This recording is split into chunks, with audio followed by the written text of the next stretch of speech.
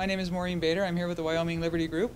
We're very lucky today to have one of our directors, Charles Curley, who also is the writer of the Liberty Index and the Key Liberty Votes, together with Amy Edmonds, former legislator and our newest employee, to talk to us today about how to battle those special interests who really want you to pay more in taxes. So what Amy and Charles will do is go through so, some of the ways you can work most effectively with your legislators. And we, we're hoping to get some back and forth. So as usual, when you want to ask a question, just let me know, and I'll bring the mic over uh, so that you can speak into the mic, and we can get you recorded for our um, video.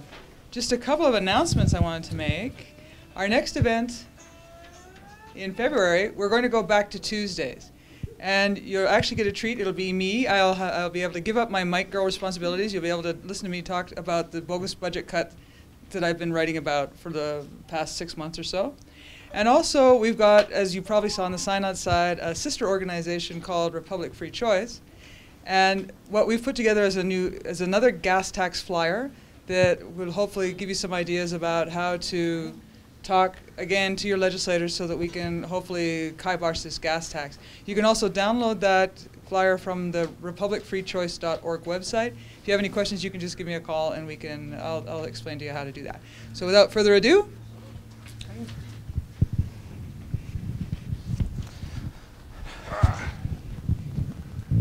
Okay. Um. There we go. We're going to start off broad overview. The Wyoming legislature is a typical bicameral legislature, which means it doesn't have two humped beasts in it. It has two houses. Um, what we want to talk about tonight is, is working with your legislators in the legislature, how to be an anti-lobbyist. And uh, I don't like the term lobbyist applied to citizens, us. It's taken on a negative connotation. You know, lobbyists are people who try to control the legislators and uh, get special interest bills passed. Well, my interest has always been in liberty, everybody's liberty. I'm not out for my particular special interest. I don't like the term lobbyist. So I And like the term anti-lobbyist. Charles, if I can, real quickly, I just want to um, let you all know that we actually have three legislators in the audience. So when you want to start asking questions, we can also hit them up. We have Representative-elect Marti Halverson. Uh, we have Representative-elect Gary, and I'm not going to say your last name right until I hear Peeperino. Piiparinen. So uh, Representative-elect Piiparinen, and then we have Representative Allen Jaggi, and he's an old sage, so we can ask him all kinds of questions. And feel free to jump in with questions, you know, put your hand up. And since we are taping, we're going to ask you to wait until you get the mic so we can get that down. Okay, typical bicameral, uh, two houses, you know, the, the, in uh, Britain, Parliament has the House of Commons and the House of Lords. We have in the federal government the House of Representatives and the U.S. Senate. Oddly enough, in Wyoming, we also have a House of Representatives and a Senate. So, votes, okay, the process for a bill is normally, as it's introduced in one house or the other. The gotcha on that is during budget session, and I'll get into that in a minute, a non-budget bill requires a two-thirds vote, and this is becoming more and more just pro forma. Um, It goes, the house of origination can be either house, except that spending bills have to originate in the House of Representatives, like the federal. Uh, Goes, it's assigned to a committee, and we'll get into the committee system in a minute, because I do want to go into that in detail. That's where you're going to do a lot of your work. Do you have a question? Yep. Do the uh, representatives and senators have to write the bills themselves, or do they have some staff available that can, that know the legalese to do that for them? Yes. They, Committee, it says those uh, representatives, we don't write the bills ourselves. Uh, In general, we give language to, we have an LSO staff, uh, it's a staff of attorneys who will uh, essentially write the bill. Pardon me?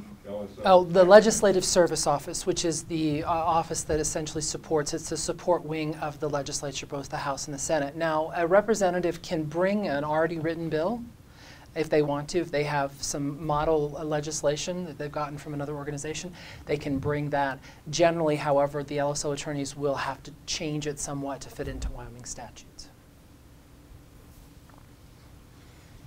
So, um, once a bill is introduced, it is then assigned to a committee. The committee looks it over.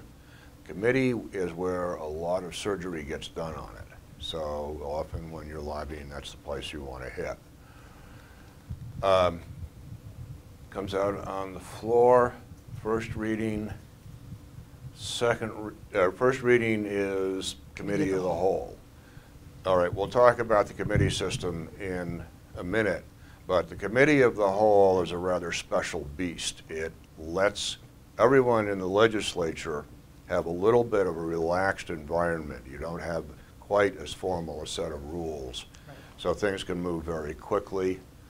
Uh, It's also a very good place to kill a bill precisely because of that informality. So the committee of the whole is where the, the House Majority Floor Leader will, uh, will call us into the committee of the whole. Committee of the whole allows us to basically suspend rules, so it allows for unlimited debate. Um, it allows for, uh, it's, it's much more relaxed and informal, and it's where we can go and um, really dissect a bill. It's also, as Charles said, the best place to kill a bill if you haven't killed a committee, because it's where really the most uh, vigorous debate happens. On second and third reading, you're limited to two times at the mic, whereas in committee of the whole, there's unlimited debate.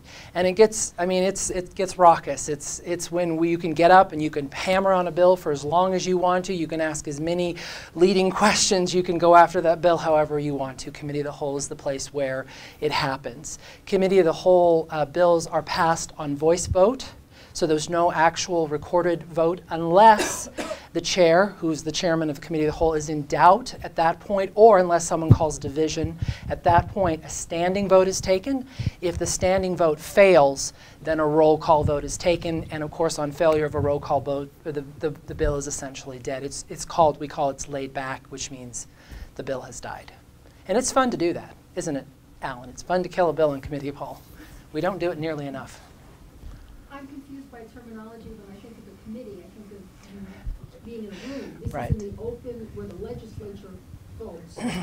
It's, it's, it- it's where the legislature votes, but technically speaking, they've, what, recessed the formal legislature, and they've regathered as a committee. In the. Correct.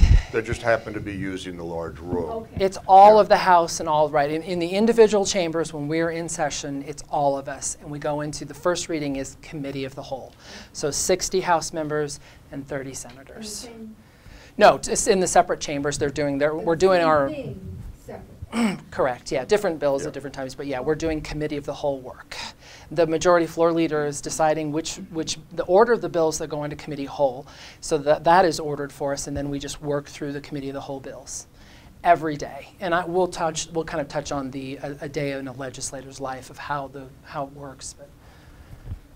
Yes. You mentioned the uh, votes. I've posed this question before, and uh, somebody needs to refresh the reason why it, in my memory, why Wyoming doesn't have a electronic uh, vote counting uh, setup instead of, like you mentioned, uh, voice vote, aye, nay. uh, That doesn't exactly say everybody voice their opinion. Uh, They could be sitting right next to each other and maybe one person. So uh, what's your uh, opinion on uh, an electronic scoreboard? Um, you, know, my understanding, particularly in the committee of the whole work, uh, we've never had any kind of we we specifically keep it to a voice voice vote unless it's close, and then of course, and at any time in a voice vote, a member can call division. So if you in, if you feel at all concerned that you want to know, or you can also call for the ayes and the noes. So any member on the House floor or on the Senate floor can get up, cite a rule, and say, "I'm calling for the ayes and the noes," which means we want an actual electronic vote in the committee of the whole. Otherwise, we do it for time.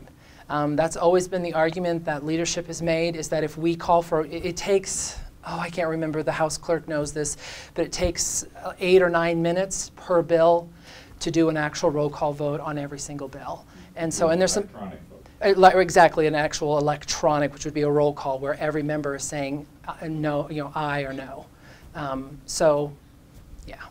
Yep. Time is generally what's been used as So the reason. all you're discussing here is a different committee system than the outside committee system. It's very similar to the standing committee, the interim committee, in terms of what the rules are and so on. It's much less formal. But the term committee of the whole is quite literally true. Every member of the body, every member of the House of Representatives is a member of committee of the whole. Does the bill go through the outside committees first or not? Through the outside committees, the standing committees first. Okay, so we, we're starting at step two of your description here of where bills start. Right. First it comes through LSO, then we haven't talked about the outside committees, and now you're talking about first reading. Right. We, we're, we're waiting for the, the committee work to, to discuss, because it's the bulk of our So this is presentation. step two here. Right. And we haven't discussed step. Yeah, and we will, we'll go into the committee system in detail, but I wanted to do the, the body first, so you get an understanding of where the committees fit into all this. Okay. If if it's, if it's Oh, so yes. easy to, or I mean, if it's fun to kill a bill, how easy is it to kill a bill in committee? In committee of the whole? Yeah. Um, it isn't that easy. I mean, you, there's, there's, gonna- it depends on the bill and, and the effort put into it. Um, but it can happen. It absolutely I'm can talking happen. about Which one was the easiest place you said? Um, the, the simplest place is in a committee. You have less people. Um, so the step before committee of the whole and the actual committee of, so if it goes to the transportation I mean, committee, just how easy, is- I mean, what does it take? If it's, that's the best place, the easiest the place. majority of the members. You know, because there's a lot of stuff that makes it through there that's unconstitutional, and it makes it through because it's politically correct. Uh, That's probably a different argument from what I'm making. I- I'm just making a sort of uh, a- a discussion of technically where can bills be killed. We're trying to stick with the mechanics of Yeah. working in the legislature. I appreciate your point on constitutionality, but it's more than we wanted to get into this evening.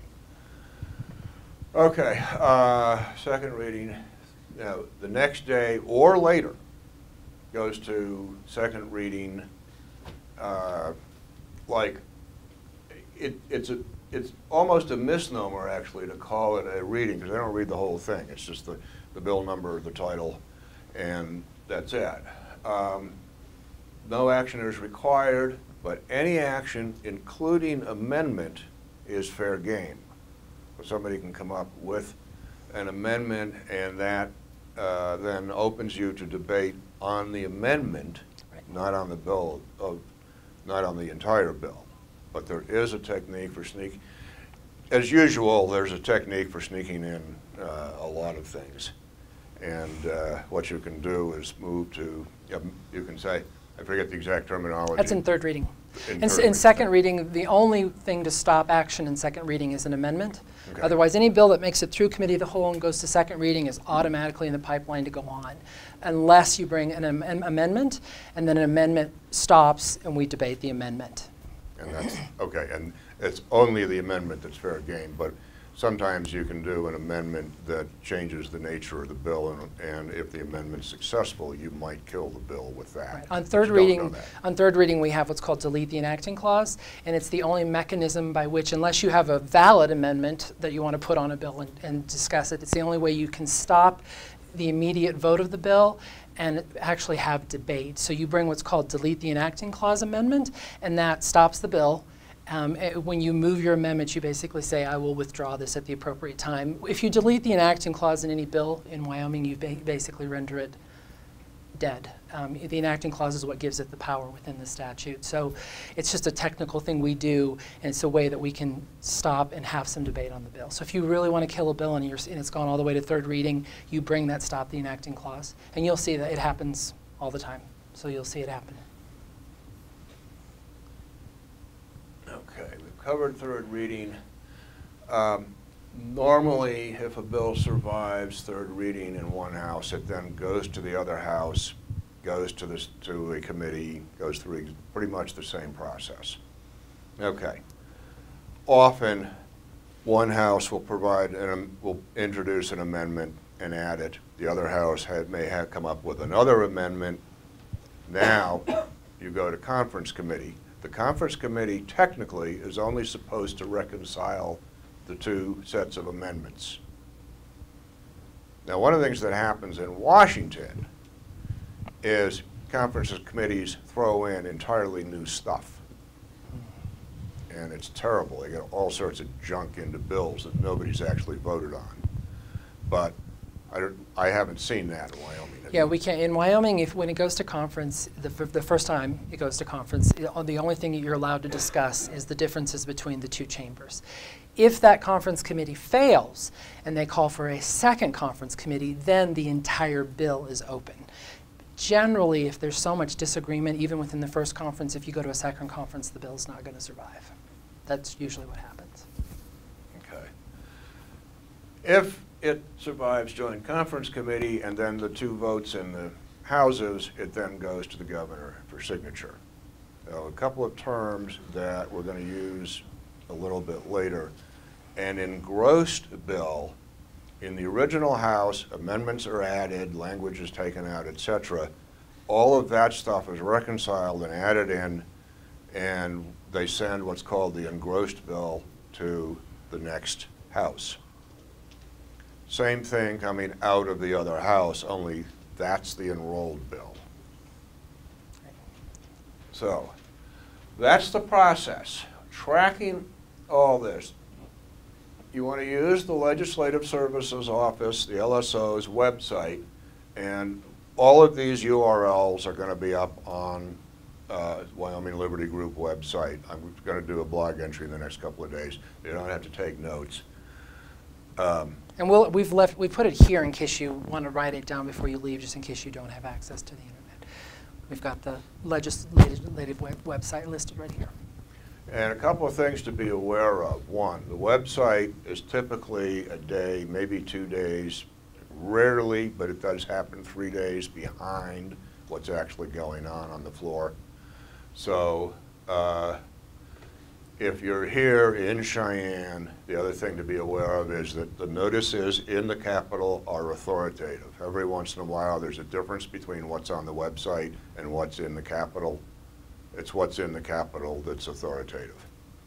So if you're going into the Capitol and you want to know what's coming up in the, in the, the next day in a committee meeting, or even if you just want to know what's going on with your bill, if you walk into the front, to the south door, into the, into the Capitol, the House is on the east side, the Senate is on the west side. As you go up those two staircases, on the Senate side, they place their bulletins of all of their committee meetings. It's a, on an actual bulletin board on wheels and it's right as you're walking into the Senate chamber. On the House side, it's on the wall over the, um, there's a little water fountain, and it says committee meeting notices. That's the place if you want to go and look. Those have to be posted by 3 p.m.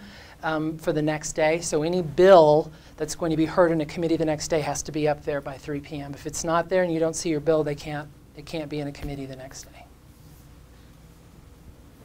Okay. So now we get into the committee system. There are basically two kinds of committees. Standing committees and interim committees. Standing committees operate while the legislature is in session. So a bill is introduced, it's referred to, let's say, the Judiciary Committee. At a meeting of the Judiciary Committee, they'll take it up and look at it. The other kind is called an interim committee. Now, during session, the House has a Judiciary Committee, the Senate has a Judiciary Committee, and they operate independently. Out of session, they operate together. It's an interim committee, it's a joint committee, and the two chairmans sort of take turns chairing. So, question? Yes, sir. Um, Let me bring the mic in. Yes, sir. Maybe you'll uh, come across this later on, but uh, the uh, committee s- system, who appoints the committee, the leader of each house, I am guessing, appoints the uh, committee, but uh, how do they pick the uh, members to go on that committee? Other than a good old boy network. Okay, so, right, so, um, Um, right after the, oh, go ahead. And one other question. Um, For a freshman uh, legislator, what's the uh, learning curve to uh, jump into all this uh, sea of uh, laws and rules and so on and so forth? You're get- You're getting the abbreviated version. Yeah, exactly, they get the bigger. The, the incoming freshman class has already had three days of training. They will do a mock legislative session shortly.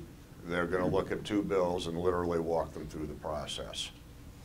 So, yeah, they get, they get quite a bit of training. Nonetheless, um, you know, freshmen in any legislature are considered, they're freshmen, they're No, So- They're freshmen.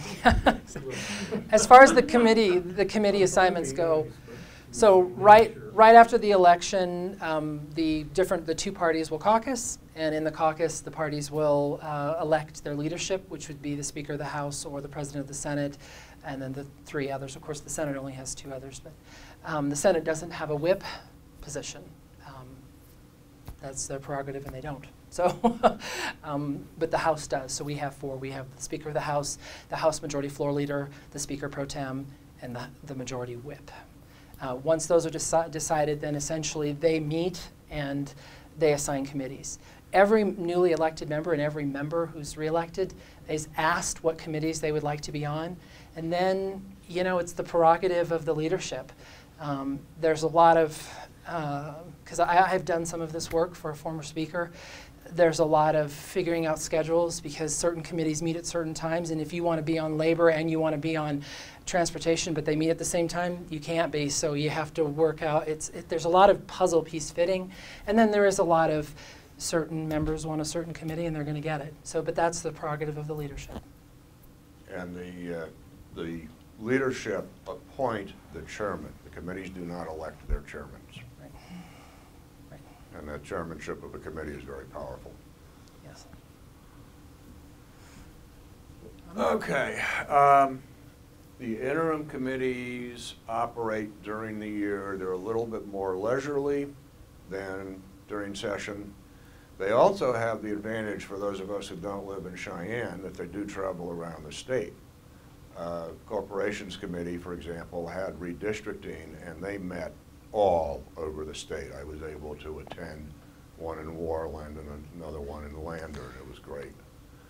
Um, So committees, or interim committees are also a possible place to kill a bill, or at least see to it that it's not introduced. For example, the gasoline tax increase bill came out of the Revenue Committee in December.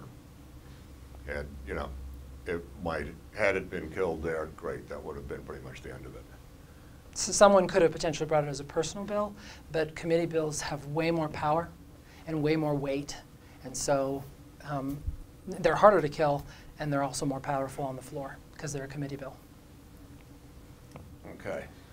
Um, Committee meeting schedules, we've talked about, uh, agendas, minutes, and draft bills. By the way, they should, for interim committees, all of these things are available on the website. The, during session, they may be available, but they not, may not be available on the website fast enough for you to use them usefully. So if you're, if you're trying to work on, with the committees during session, the best place to be is in the Capitol building, reading those notices. Um, We've talked about committee of the whole, Committee work now? I'm sorry? Committee work now? Yeah, let's talk about committee work. Um, This is where you'll find information about the committees, and particularly the interim committee. we do have, or the LSO has guidelines for what to do. Let's touch on that a little bit. for attending a committee meeting. So committees are probably the place you're going to have the biggest uh, interaction with your legislators, and it's the place that you as a citizen can have one of the best voices, is to go to a committee meeting. Uh, So you need to be following those notices and attending a committee meeting. Generally, the way uh, committees work, uh, as your bill comes up uh, for the committee to consider, the chairman, and chairmen are different, but essentially the chairman will first usually hear from any of the state agencies that might be involved in this bill. So you're going to, they're going to take testimony from the state agencies, uh, then generally any kind of outside interest groups, and then they're going to take testimony from the general public. That's usually the order that they do it. If it's a very highly contested bill, some chairmen will want to hear from all the people in favor of the bill first, or vice or against, it, and then and then the other side. So some chairmen are very specific in how they want to do it, and some are not. Um, when you get there, you'll want to sign. There's always a clipboard. You'll want to sign in. Um, if you have any uh, documentation, and I would recommend as a citizen, if you have a lot of information that you want to give to legislators, a lot of facts and figures or constitutional issues, make up a sheet, a one pager, something that you can also have as a handout. It's, it's very useful for you to actually give a legislator some information beside, beyond just standing up and speaking your piece. And you, you want to make, the you want to make a number of copies, one for each legislator, two to go into the record. Secretary. Uh, If press are there, you'll want more. If it's going to be a well-attended meeting, I've, I've seen, in Wyoming, I've seen committee meetings where the audience was as much as 30 people. So you might want to bring extra copies for handout, and then, uh, you particularly want to target press. And they may, press may come to you and talk to you. Um, Be prepared. Your, your presentation should be short. Try to make it two minutes or less. It should be concise. It should agree with what you've got on the paper so that, so that they can look at your write-up later. And be prepared for questions. And questions are where your opponents will try to trip you up. As a, as a legislator, it's probably the one place that I've seen citizen, citizens get the most tripped up. And that is, you may have uh, legislators on the committee who are not in agreement with your views. And when they are, they will want to ask you some questions, and some of them are going to be tough questions. One of the biggest advice I can give you is if it's outside of your area of expertise, own up to it and say, I don't know, that's, I'm, I'm here to talk about this. Don't get led astray into something that you may not have a clear understanding of, because that's how they're going to try to essentially sort of discredit you and take your argument away from you. So stay focused on what you're there to talk about. Don't get upset. Don't get angry. Uh, you know, be receptive to the questions, but stay focused. And what I do is I prepare what, what attorneys call a briefing book. Bob, your question? I'm sorry. I'm confused about the difference between committee bills and bills introduced by individuals. How do committee bills originate, and can that happen any time of the year, and how does an individual influence that? So committee bills come out of the joint interim work that happens. So a committee will, um, first of all, commi- committees are given directives uh, by the management committee at the end of each session, and they usually ask, they'll, they'll go before management and say, listen, there's six areas of things we want to study. So in the revenue committee, they may say we want to look at cigarette tax, we want to look at something within the Department of Revenue, we want to look at the fuel tax, we want to. So these are the things we want to look at. They will then get approval and they'll get funding for that, and then in the interim work, they'll start looking at that. Out of those interim committee meetings and discussions, a bill may well transpire. So the committee members may start talking about it, saying, hey, this is what we want to do, have the LSO write a bill, and then at some point, the bill will be brought forward as a draft in the interim committee work, and the committee has to vote and say, listen, do we want to take this up as a committee bill? We all have to decide. If they all, if they vote in favor, then it becomes a committee bill. And, and if you look at the sponsorship, it says X committee. It doesn't have an individual legislator's name on it, which means you get away from, you know, a legislator on the committee could convince the committee to bring a bill that he doesn't want to be caught dead bringing, but he wants. So we call this virgin birth.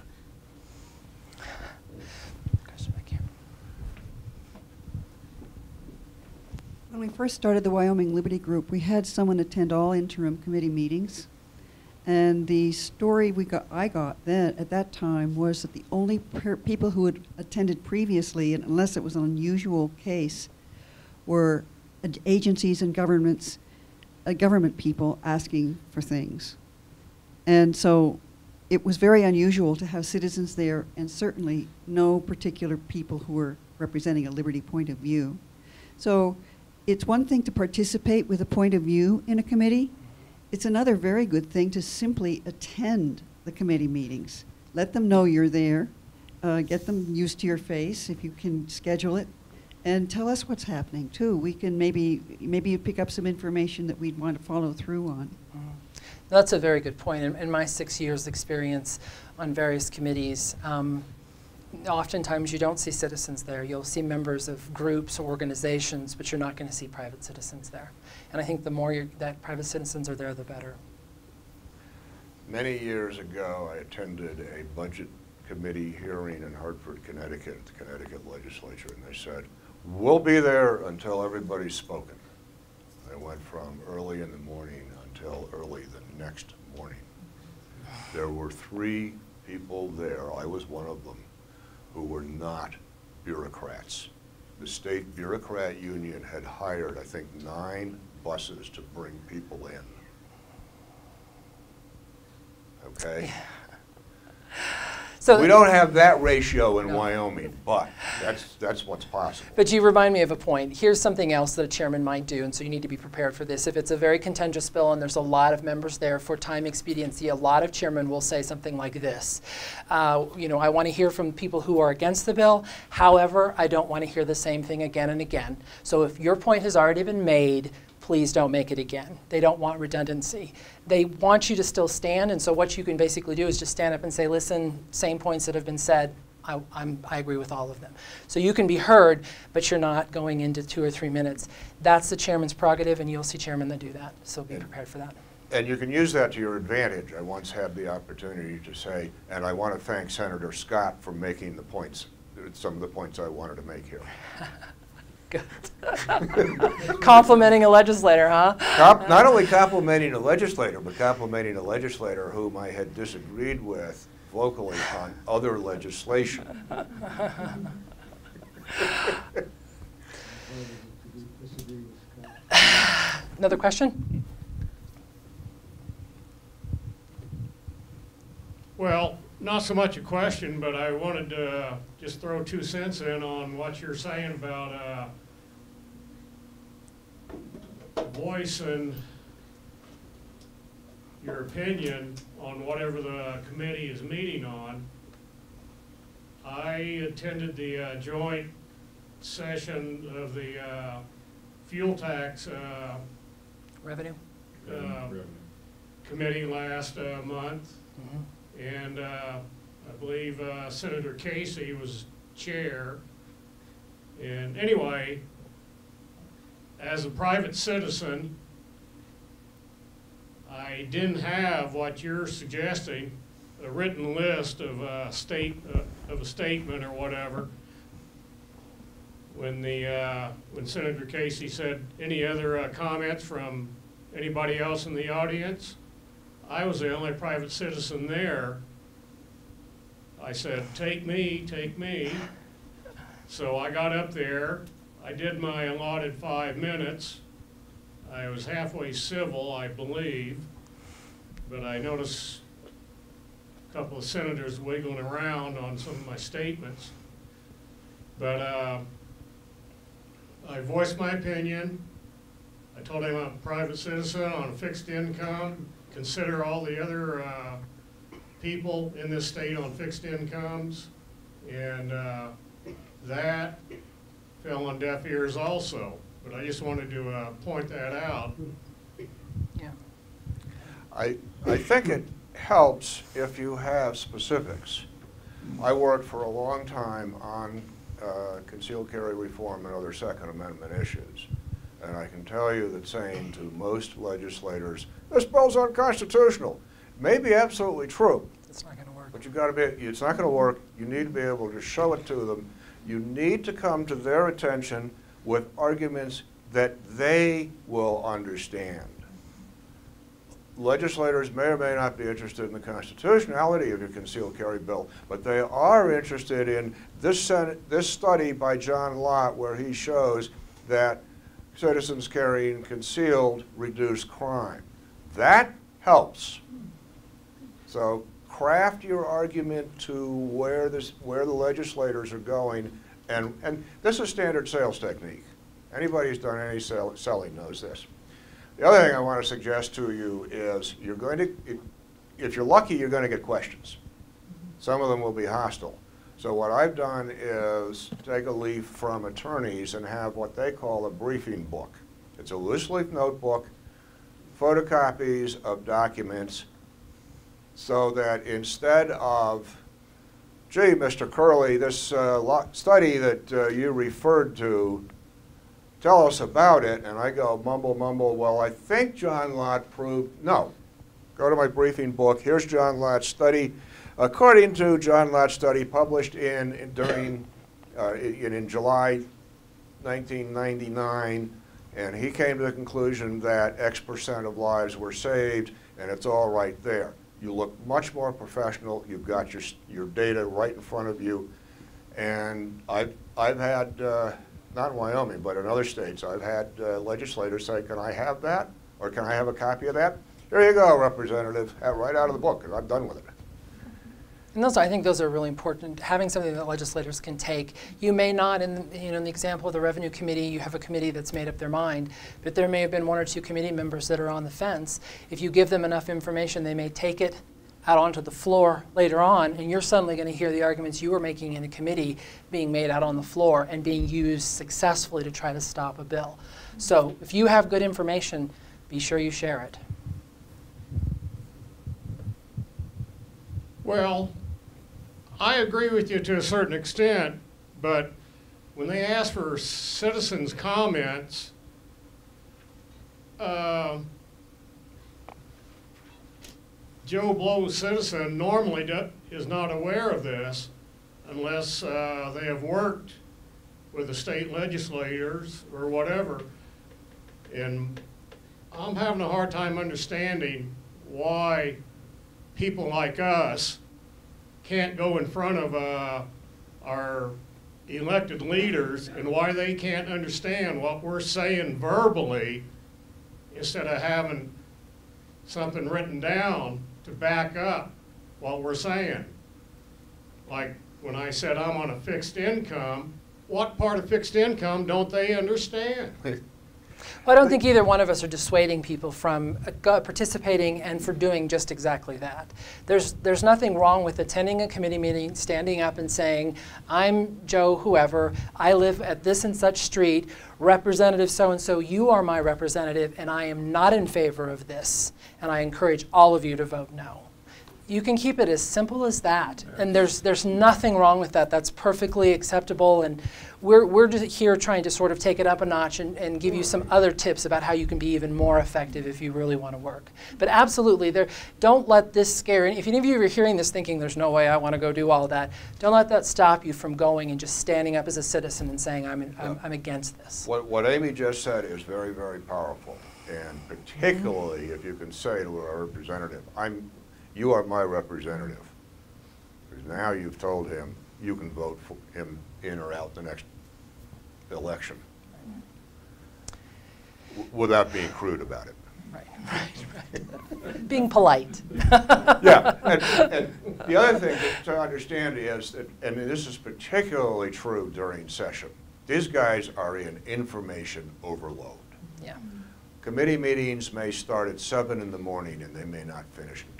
10 at that moves me. I'm going to move on to, so that, that kind of is a good segue into this next we kind of wanted to give you an understanding of a legislative workday. So outside of a committee meeting, the best places that you might be able to grab a legislator and talk to them. So in general, Legislative workdays can begin as early as 7 a.m. as far as official work. They can be way earlier than that. Your legislator could be going to a breakfast meeting at 6 a.m.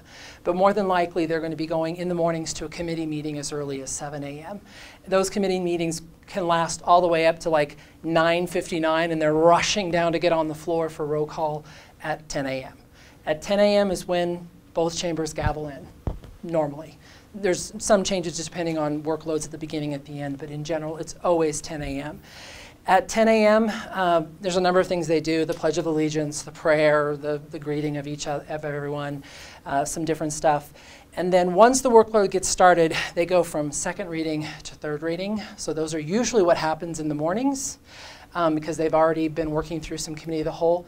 Next week, they will committee of the whole will happen earlier in the day, but in general, the bulk of all the legislative days um, will have second and third in the morning. They'll go for their noon break.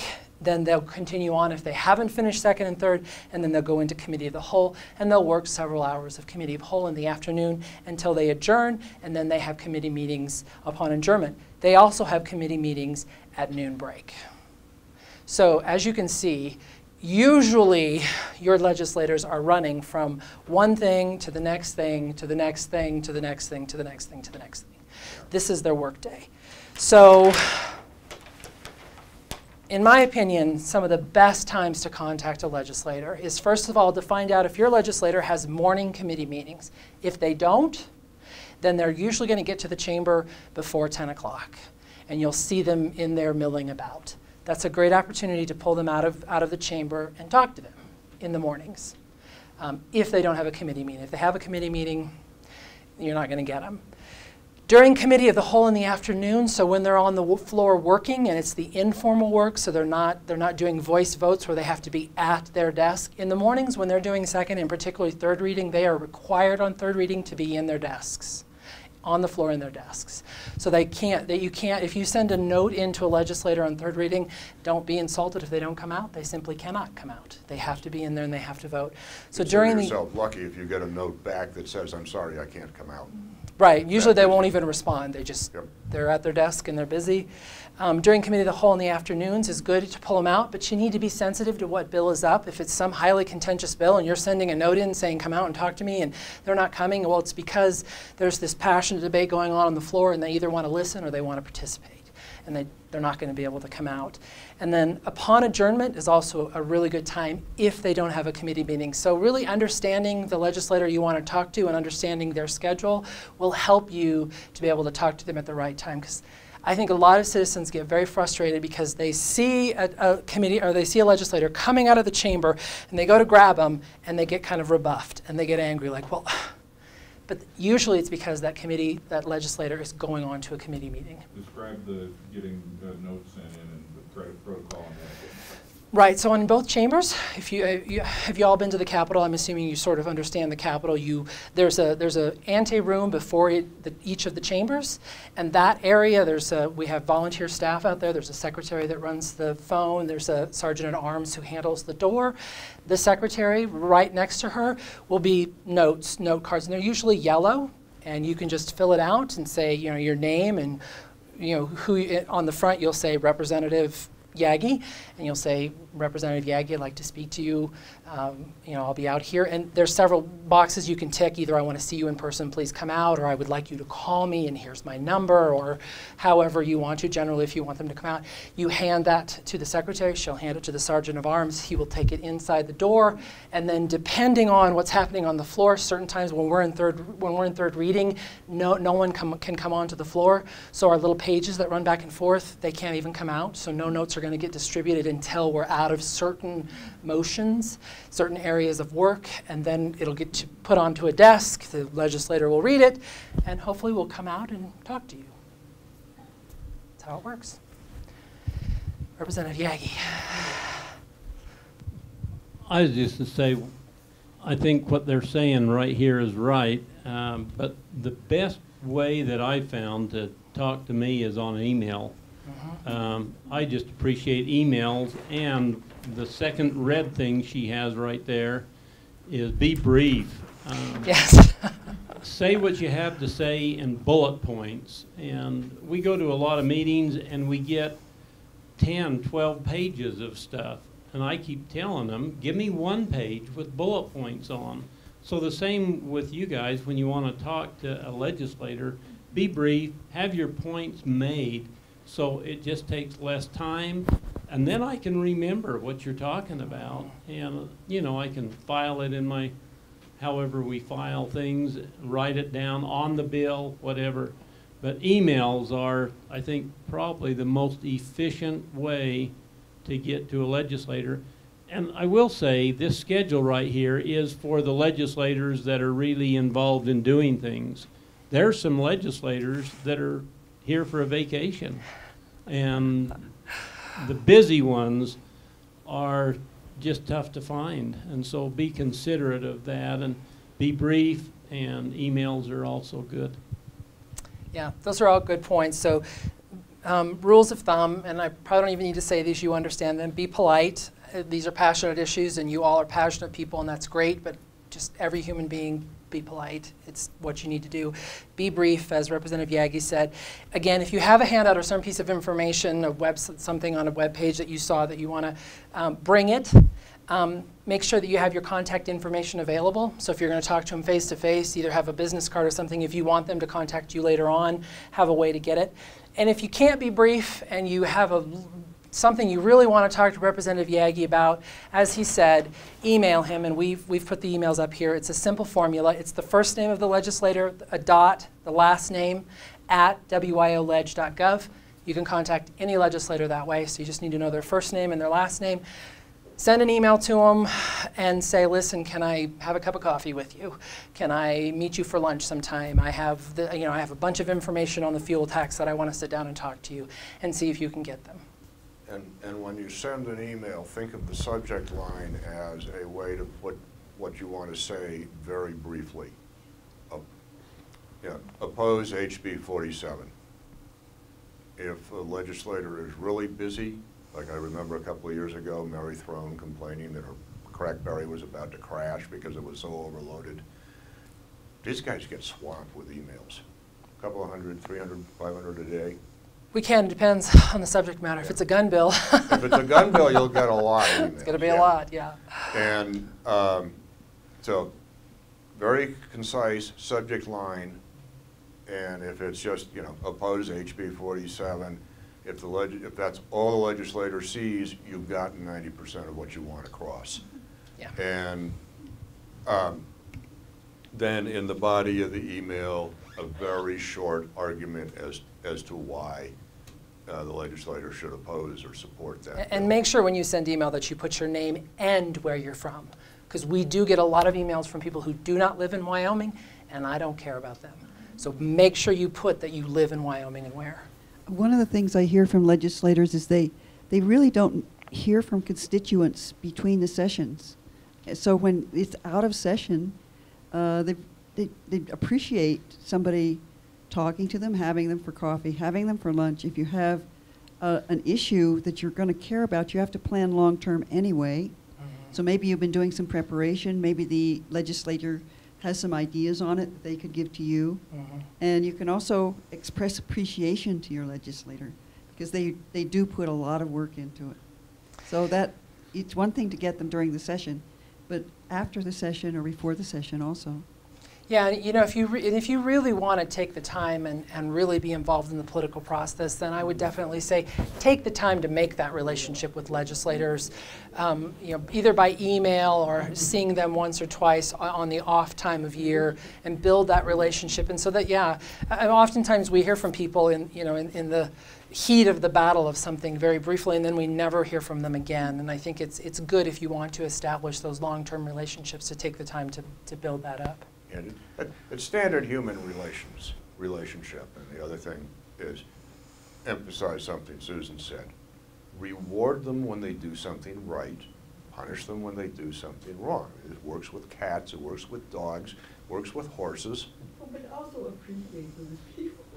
Well, Yeah. I'm just, I'm, I'm just saying it, it, it, There are people, Yeah. Well, uh, you know, one of my frustrations is, is avoid generalities because, and I and I I understand the heart, and I think Representative Jaggi, we understand the heart of where these generalities come from, because we know that people are frustrated.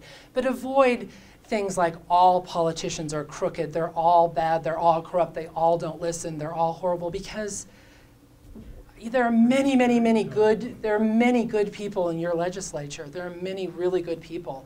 And it, it doesn't help your, your cause or you to try to make a relationship when you use these huge generalities. And even if it's true, they don't want to hear it. no one wants to hear that. I, you surprised me about talking to them when they're not in session. I just think it's all over. Like, They are involved all year round, even if they're not in session? That's correct. Do they show up at the, the Capitol all year round? Or they're in their local, like Casper office and Cheyenne office, or? They're at home. Uh, your state legislators, none of, none of us, none of them now, since I'm going out, we don't have, they don't have offices. Um, when you go to the contact information on the Legis web, the beautiful thing about Wyoming is more than likely you're going to call them at their house. And you're going to talk to their wife or husband. And you're going to, because that's how informal it is. They don't, they have no staff. We don't have, right, no staff. No staff. So where do you call them? Um, when you go onto the legislative website and go to the legislative They're giving you information, the phone number oftentimes is a home phone number. Okay. Sometimes it may be their office if they have a, if they're a business owner or they work, or their cell phone. But you may well be calling their house. So what do they do when it's not in session? Whatever, We're- whatever we're- their day job is.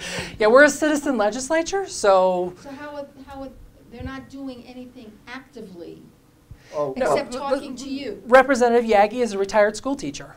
So uh, he's retired. I, I don't know what representative-elect, but most of them have a job or had a job, and But I mean, as Yeah. far as, you know, being a representative, the only thing they're actively doing is me calling them and me saying I want to talk to them. They're not really working on any. committee. They're doing, so I, I, this last two years, I've served on appropriations, um, and almost on a weekly basis, I'm getting a packet or some report or something. I'm reading through a whole bunch of stuff, and then I'm going to interim committee meetings. So during the off season, your legislators are working. They're not working full time every day, eight hours a day, but they're certainly reading reports, getting emails, and then dealing with constituent issues when you hear from a constituent. And do you actually have meetings? Like you actually can, that's, is that the out-of-session meetings are? Interim meetings, that's But they're correct. not every day, they're just like called for a special, Right. whatever. And you can go onto the legislative website, they have a calendar, and every month you can see the list, and there's usually, oh, I don't know, four or five uh, meetings a month. And as Charles said, the nice thing is they're all over the state. So for the people that don't live here in Cheyenne, there, there's going to be meetings in Casper and all over, Thermopolis, Rock But Springs. They're just the committee meetings, they aren't everything. Right, they're just the committee meetings. And catch your legislator at home in between. And Amy's right, the le- the legislators have their day jobs. Um, Kendell Kroeker runs a sporting goods store or something like that, Y- Yeah, motorsport, he sells mo- motorsport stuff. Four-wheelers Um, and- Nathan Winters is a preacher, so don't call him Sunday because he's at services, you know. Uh, And this information is up there on the website, uh, what they do for a living. Some are ranchers, some are, I mean, yeah. Yeah, our, our outgoing Senate President, John Hines, is a sheep rancher. Go ahead. Um, I've gone over, talked to my state uh, senator. Prior to that, he uh, was a state representative before he switched across the aisle. But anyway, um, he says many times he's had to uh, attend. Uh, meetings sponsored by uh, the lobbyist groups. Uh, what sort of influence, other than free dinner and booze and so on and so forth? Because he, he admits this, and uh, what sort of influence other than vote for this or whatever um, is that supposed to do? You want me to tackle this? I can start. Um, well, I don't think the word had to is proper. No legislator has to attend any special function put on by a lobbyist group. They choose to go or they choose Well, not to go. right. Yeah, so don't, I mean, your lobby, your, your legislators are under no obligation to attend any of those things, but most of them go. Um, My experience, I'll be very frank, uh, we'll have a frank conversation. My experience is a lot of the lobbyists in this state um, serve as an information conduit. So you can get a lot of information from a lobbyist. Um, if there's some particularly uh, complicated subject matter, perhaps on energy, we have a lot of energy lobbyists, you can ask them. A good lobbyist is the lobbyist who you can look at and say, now tell me what the other side is going to tell me, and they'll be honest with you and tell you that. Um, and that's something you can you sort of can look for. Um, as far as influence, um, what I discovered is that if you go into if you're elected and go into the House or the Senate and you know who you are, uh, lobbyists really aren't going to affect you. If you don't, then you and these are the people you'll notice get pulled out a lot into the chamber. The freshmen, because they're unknown entity, are going to get pulled out a lot regardless. But very quickly, lobbyists, lobbyists are going to figure out, you know, it's just not worth my time pulling out Representative Halverson because I know how she's, I know ideologically this is who she is and she's just not going to go my way, so I'm not going to waste my time. Um, but they have to learn that, so they're going to pull her out at first for a while. And, and that's just the nature of the beast, that's how it works. On the federal level, look at Ron Paul. It's, it's gotten to the point now where the lobbyists don't even bother going in his office, literally. Um, For Washington, that's an extreme example. I, I, I think we've got people in the legislature here of comparable integrity. Yep.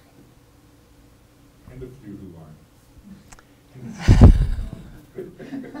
I have nothing else to say. Uh, Okay, committee information. Uh, One of the things you want to notice is when they talk about committees, committees have numbers or designations. And the reason those become important is because when you look at the digest, it refers to assigned to committee number four. You're, for some reason, their software isn't smart enough to tell you that's the education committee. Um, But that's useful information to know when you start looking at the digest. Um, Daily meetings during session are available here. Listen for announcements of committee meetings on the, you, oh, you can get the audio from the LSO website, and between roughly 11:45 and noon, But they live stream, and we don't want to, uh, they live stream all day. So you can actually listen to your legislature at work every day, all day long. So you can get onto the LSO website at 10 in the morning when they gavel in, and you can listen to the whole day. This is, this is for the bodies, but not the committees. Not the committees. The committees are not. The only committee that live streams is the Appropriations Committee. Okay, and the committee of the whole, obviously. Right, and Committee of the Whole. Are we about out of time? Time to wrap it of up, time. Charles. Okay, um, bill information at this URL, and again, I'm gonna put all these up on the website. Um, Contacting legislatures, we've talked about that a little bit. Their contact information is available. Uh, there's an unofficial Facebook page, I think Sue Wallis is running that. Yeah. And that's great. Oh, we talked about emailing. Some legislators have an official email address, which they ignore, and an unofficial email address. So just be aware that, that that's a constituent avoidance tactic. The one other option is the telephone hotline, and we've listed it here. So if you don't want to go in person or you want to, you can call in and do a telephone hotline. We also had the, they also have an online hotline. It only allows for 140 characters. So if you have a lot you want to type and say, this may not be the best option, you may want to email. But those two th- ways are also ways that you can contact a legislator. Okay? Well, thank you very much, Amy and Charles. Um, We had a good discussion. Thank you for also you who have attended. And uh, it's open for questions. Thank you.